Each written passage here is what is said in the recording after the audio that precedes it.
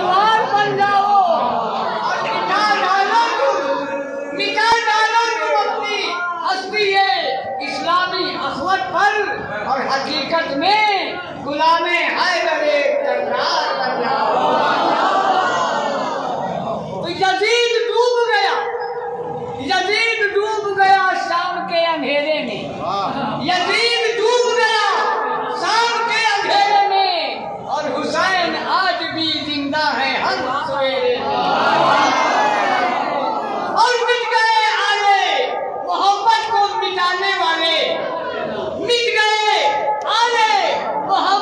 मिटाने वाले। और आज भी ज़िंदा है। इस्लाम